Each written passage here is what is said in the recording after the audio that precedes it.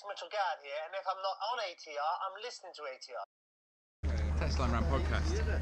We are At the Homeless World Cup, we're the at the Homeless day. World Cup Bute Park. It's incredible what the impact that this tournament has had, not just from a football perspective, but you know it's far more important. Never has it turned more than a game even more apt. We are about to interview Michael Sheen. about Michael see what he Sheen says about himself.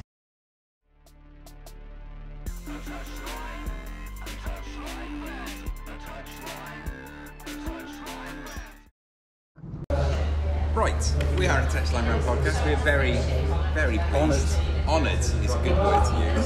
We're here with Mr. Michael Sheen. Thank you very much for a few minutes of your time, and most importantly, thank you very much for helping to bring, helping to bring the uh, this tournament to Cardiff. That's the main thing, you know. Watching you and the passion that you have for this tournament has been inspiring. We're both Cardiff Black boys, and having this here is Ah. breathtaking.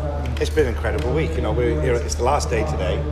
We've got all the finals taking part now today, um, and uh, the standard of football has been incredible. It has. You know, not just not just brilliant football, but also the passion that's out there. Yes. I mean, it matters so much to play. Yeah. Like uh, you know, yesterday uh, uh, there was this the game between Zimbabwe and uh, USA, and it was an incredibly tight match. It was really exciting, and right at the end, Zimbabwe scored a goal to win it, and it was scored by a man with one foot. I mean, it was incredible. Um, I saw the, the Bulgarian team, every match they've played, they've thrown themselves into it, and their goalkeeper is the most committed football player I've ever seen. They lost to Brazil, and he was inconsolable, sobbing on the floor. Um, you know, this is how much it matters to people. But what's also amazing is knowing that no matter what the, uh, the scores are, no matter what the results are, um, this is changing people's lives. You know, just having the experience at all Yeah. uh, is is is first of all an incredible achievement, a testament to the resilience of people. Because the fact that they're here at all, representing their countries, some of the most marginalised and uh, and isolated people, you know, in our communities and communities all around the world, the fact that they're here at all is extraordinary. Um, but having this experience is it creates change. You know, it's the catalyst for what can happen uh, in the future. Because I know, because I've been with the Welsh team players who've gone through this experience, and I've seen how it's changed their lives. Yeah. So that's you know, as apart from just being entertained by the football and just be, and loving it and being completely compelled by it. I keep remembering, oh yeah, people people are having this experience. It doesn't matter. It doesn't have to be all worthy and earnest. Just the fact that it's happening Yeah. means that this is going to create huge change, and that's amazing. So you've provided a voice and a platform for change. What do you consider to be a lasting legacy of this tournament?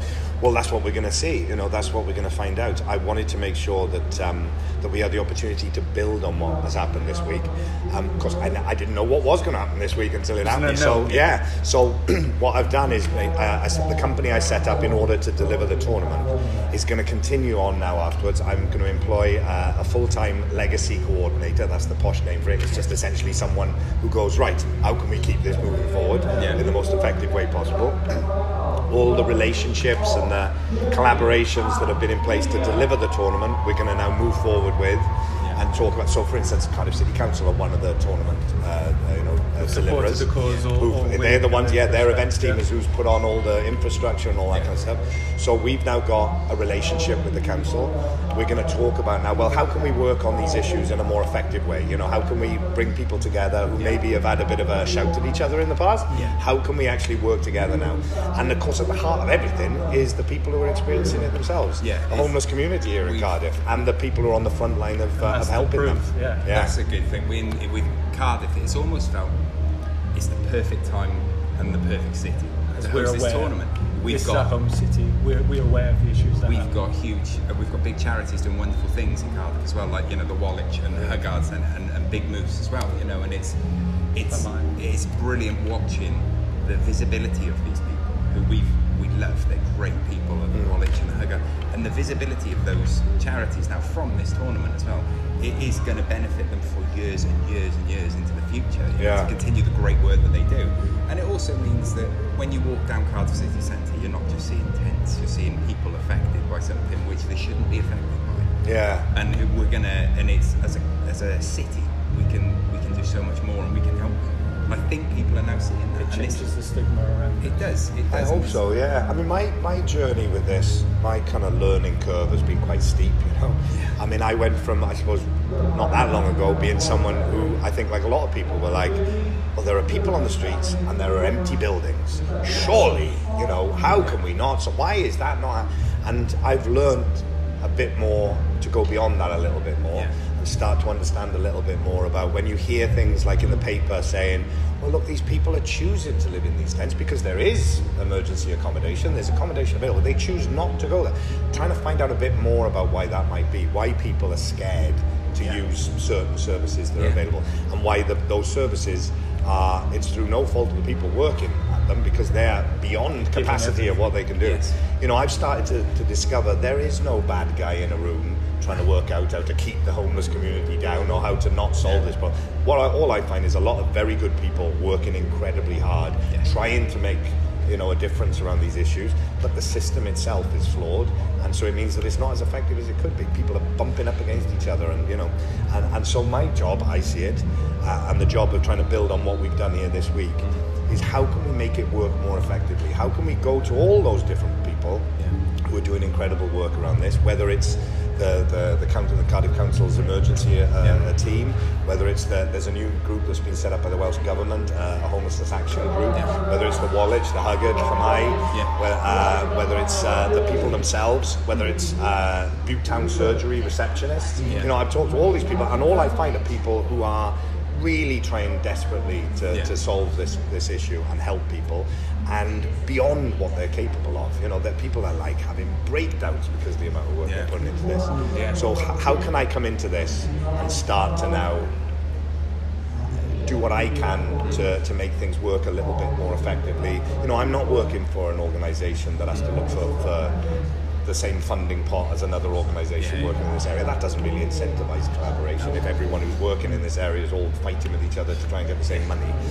And the people who they would like to hold to account are the ones who decide whether they get the money or not. Yeah. That's not really helping things because people can't really speak freely and Yeah. speak honestly about what's going Yeah. on.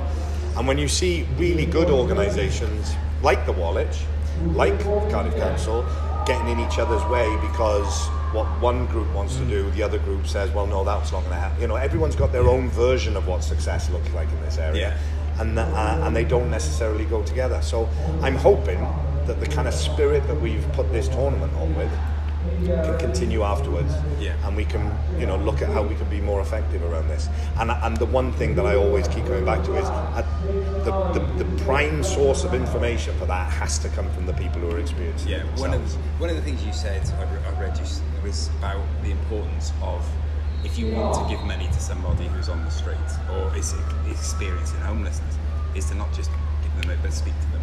Yeah. And it's that human element which, you know, which I genuinely think this tournament is, is highlighted so yeah one of the great things about the tournament this week is the sense of ownership that the people who are playing Yeah. have got or or indeed the people from the homeless the local homeless community who've come in and been a, and been a part of it there is a sense of like this is for us Yeah.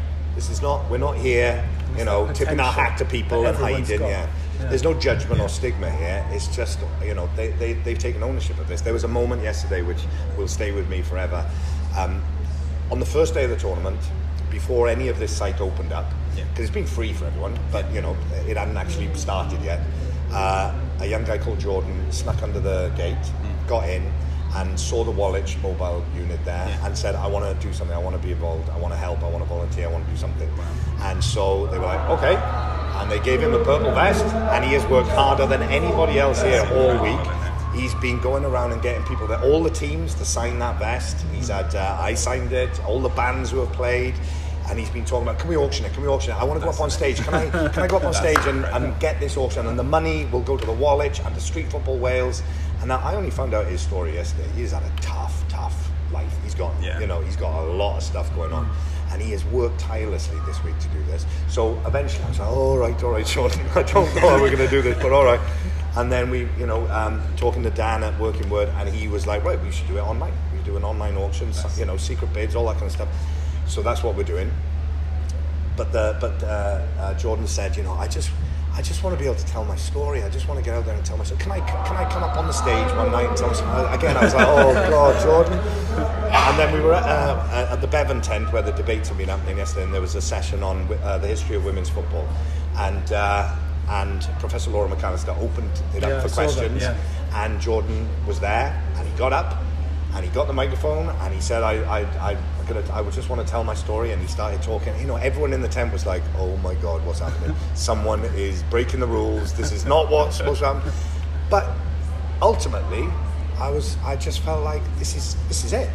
We've created a platform here, and here is someone who actually has he's going through it, and he's up there amazing. and he's telling his story, and people are listening, and people were supportive, and just think, yeah, that's that symbolizes what this is. Really. We That's see that brilliant. in the eyes of every single player that's out there. Right. I think that's a great way to wrap it up. Thank you so much for your time. Pleasure. Thank Hello, I'm Michael Sheen, and you are listening to a Touchline Rant podcast. Thank you Thank you. very, very All much. the best with that.